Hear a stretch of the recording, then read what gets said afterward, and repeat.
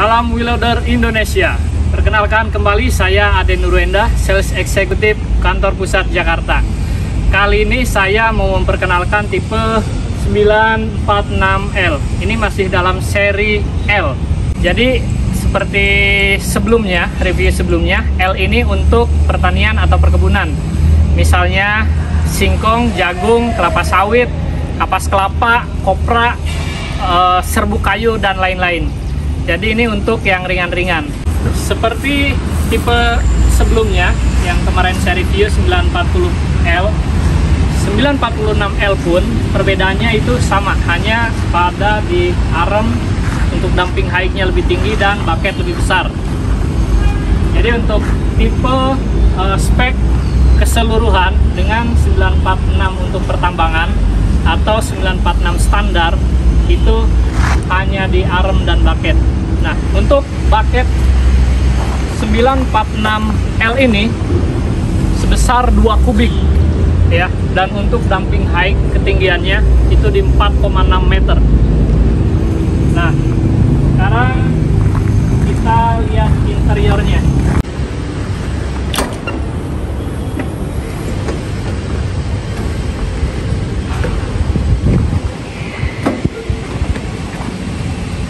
Dari struktur body jadi 946 ini memang lebih tinggi dari 940 bisa kita lihat bannya itu ukurannya juga lebih besar 24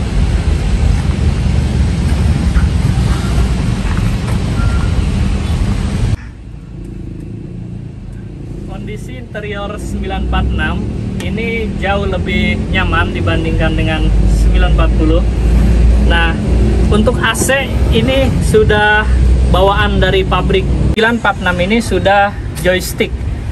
Jadi untuk mengangkat bucket dan menurunkan bucket itu lebih ringan, lebih enteng. Sekarang kita tes untuk dumpingnya ya.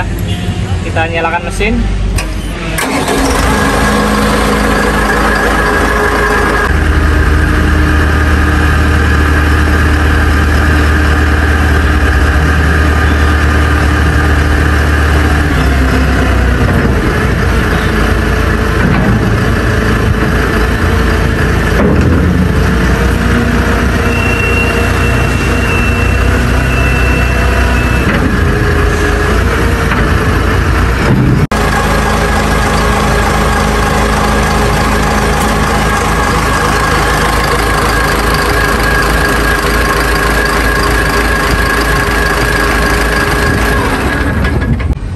946 memiliki mesin sama dengan tipe di bawahnya yaitu 4 silinder. Namun di sini ada perbedaan di engine engine brand.